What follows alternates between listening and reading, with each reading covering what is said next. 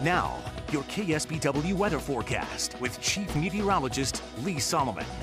Good evening, everybody. Beautiful day today. Lots of sunshine, mild temperatures, really on the warm side. We're starting to warm up again after the weekend rain and the cool down. Lots of 70s coast and a mix of upper 70s to low to mid 80s for the inland valleys and hills. Same thing across the state, really not that much warmer as you head into the Central Valley, middle 80s, Sacramento, Fresno, Lake Tahoe 64. So you can tell it's not a summer program, right, where we're seeing those triple digits in the Central Valley, although they may see those uh, from time to time in the next month or two. Certainly not out of the question. It's not where we're at right now. 70s, though, tomorrow in Tahoe. So, again, that warming trend continues tomorrow. Upper 80s, Sacramento, 89 Fresno, and 90 in Bakersfield, and 101 in Palm Springs, 94 in Vegas. So, down from those, you know, 110s, 115s we saw a few weeks ago, and lots of 70s along the coast, and 89 in Los Angeles tomorrow with 81 in San Diego. All clear here along the coast.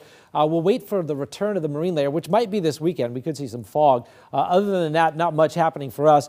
Low pressure up over Montana with some showers and thunderstorms and cooler weather. But again, the west is pretty quiet right now and a lot of dry air. What you're looking at here is the water vapor imagery. And, uh, this color right here indicates warmth and dryness in the atmosphere. The rain and the showers and the clouds all to our north or way off uh, to our west. And again, there's no uh, big fronts headed our way at this point. We did have our September rain, which is nice. That's all said and done. Now, check in on Fiona, which of course came through Puerto Rico a few days ago. Bermuda is right there, and the track's going to bring it pretty close to Bermuda. You can see the eye there. Big storm, by the way. Not only hurricane force winds, but tropical storm force winds obviously extending out from the center too. And those extend almost 300 miles from the center, so you don't have to be very close to at least see the effects. But thankfully, it looks like Fiona with 130 mile an hour winds right now will pass to the west. See this front right here? This is a cold front coming through the east coast, and that's typical in fall. You wouldn't see that in the summertime. This acts like a buffer, so you can kind of see the track was north, and it's starting to just uh, track more north-northeasterly, which is going to bring it away from the east coast.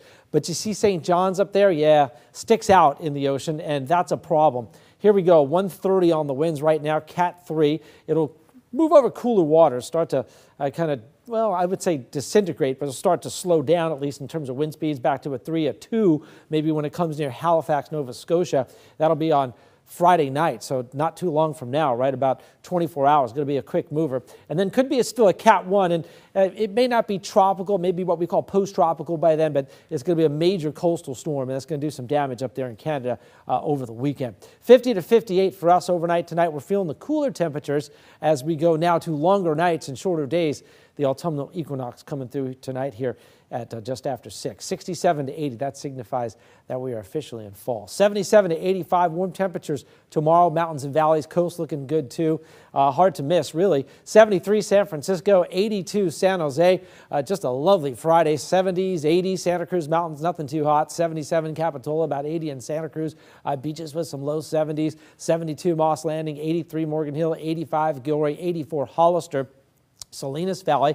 Also seeing a mix of 70s to low to mid 80s, 78 in Gonzales, 81 Soledad, 85 King City, and uh, back to the coast and a beautiful day with upper 60s to low 70s, a 74 at Pebble, 78 in Carmel Valley. Could be a few patches of morning fog, but not much. We may see more of that over the weekend at the coast, but still a mix of 60s, 70s to near 80, and then we start cooling down uh, next week. And in between that, we may see some low clouds form here and there. Otherwise, 80s for most of the valleys. We could see a few low to mid 90s Saturday and Sunday, so we'll be a little above average over the weekend, but nothing too hot. And the really long range forecast, just kind of a general trend, I see a lot of what we call troughs, or little cold fronts coming into the Pacific Northwest, which is not going to allow heat to build back into California in general. So I don't see any heat waves for a while. I also don't see any more rain, but if we can keep the heat down and maybe get us through another three or four weeks, who knows what October might bring. Right, Right. sure.